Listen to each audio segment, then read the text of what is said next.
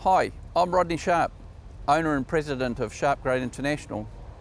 Today, we'd like to talk about cross coupling and what it means for precision grading. Now, you'll hear us talk about cross coupling, and cross coupling is when the movement of one side of the blade influences the opposite side of the blade. Now, sharp grades all come standard with quad rod linkage, which do not have a center pivot. And so cross coupling is normally caused when you have a center pivot. So all center pivots have the worst type of cross coupling possible, where one side, the movement of one side of the blade is directly influenced by the same amount on the opposite side.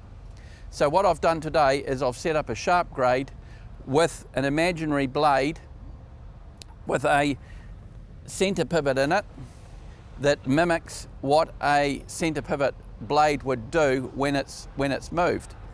And I've mounted one side of the blade to our side, which will be moving, and then the other side is free to move. So when you have a center pivot blade, whenever you do a cross fall, you have to rise or lower the, the whole entire blade to get them back in, into, into line because as soon as you alter one side, the opposite side is altered the same. So what we're going to do is demonstrate that here. So here we have our sharp grade set up with our imaginary center pivot. So here's the center pivot and here's our blade connected to this side. And you can see the arrow, the movement that is occurring in a center pivot blade. So a center pivot blade is the worst combination you can ever have. There is nothing smart about a center pivot. And this is what you find on six-way blades and uh, most box blades. If your blade has a pivot in the center, then it suffers from this problem, pure and simple. Whereas you notice the quad rod linkage is keeping the opposite side at the same height relative to the ground whereas the other side can move through its entire stroke without affecting it. And that allows us to grade quicker and more accurately because we only have to control one side at a time.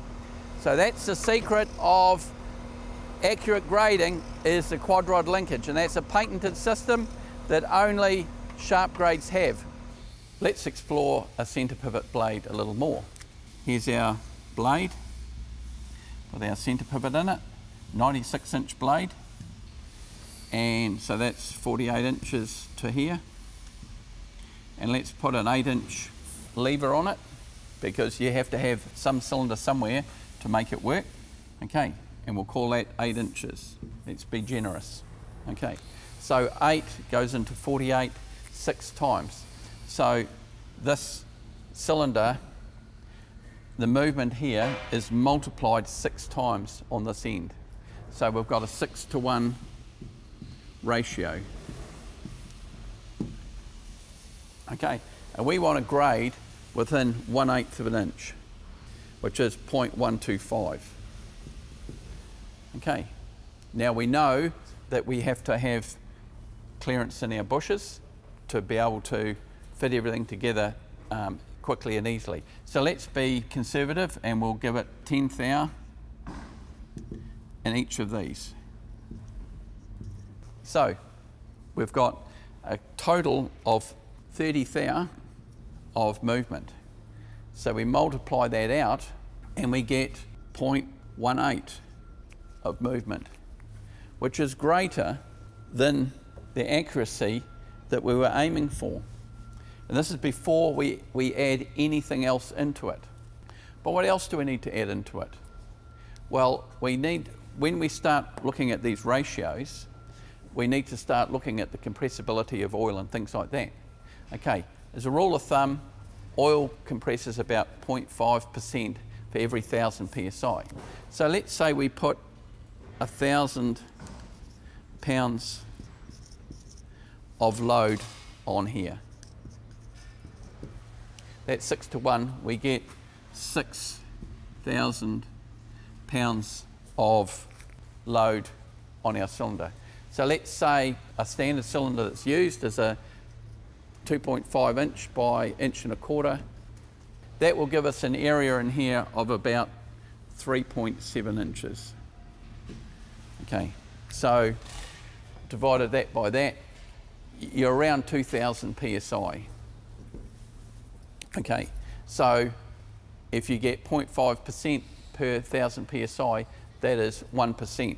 And if we're talking about a stroke of 8 inches of stroke, so that is 0.08 inches.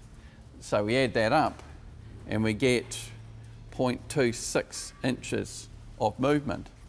So you can see very quickly that a centre pivot blade with standard manufacturing tolerances, suddenly you are talking about double the intended accuracy before you even pass go. This is only with a thousand psi on it.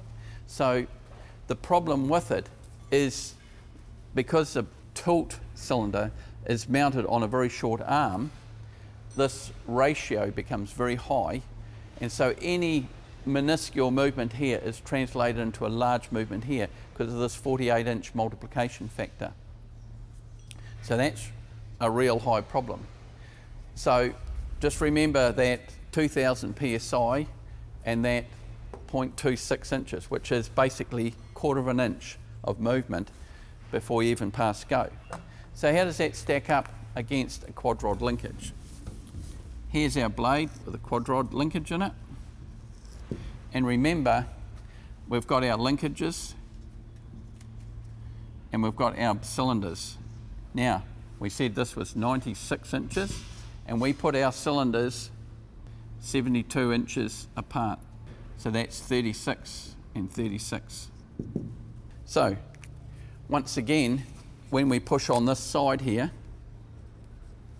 at a thousand pounds of load, which is not a lot when you're grading, because we don't have a centre pivot, we never calculate from there. We calculate from this point here. So the calculation is that plus that, which is 72 over 36 plus 48 inches, because that's this dimension here, which is 84, which is 1.16. Okay, so if we said 1.2, okay, so this cylinder sees 1.2 times this load. So a thousand pounds, that sees 1,200 pounds of load. Okay, and we run a three inch cylinder. That amounts to around, so a three inch cylinder in round figures has got about seven square inches of area. So you're under 200 psi versus our centre pivot that had 2000 psi. So at 200 psi, it's 0.5% multiplied by 0.2. So it's not even worth factoring in the compressibility of the oil. So you can see why a quad rod linkage is so much more rigid. It's because you shift the center point from this point out to here. And not only does it stop, reduce the load on this, and it stops that point from virtually moving, so you have zero cross coupling, but re you reduce all of the load in the system. And that's the secret to it.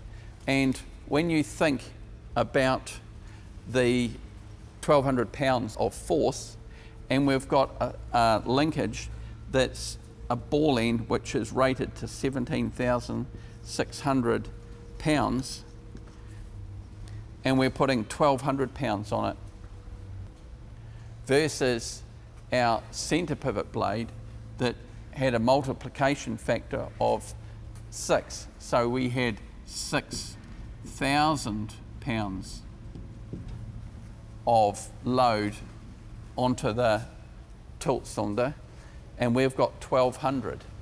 So basically a centre pivot blade induces five times more load into the cylinder than we do.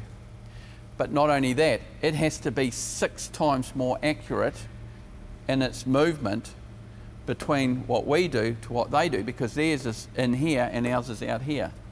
And so not only does the quad rod linkage reduce the load, it also reduces the ratio. So your, your cylinder is virtually over the top of your sensor.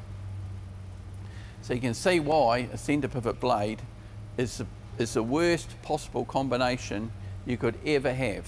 There's nothing smart about it at all. If, if there was a design that you could make that's the worst possible, it would be a centre pivot. So if you want accuracy and speed, you don't use a centre pivot. So you can visit us on www.sharpgrade.com for more information and thank you for your time.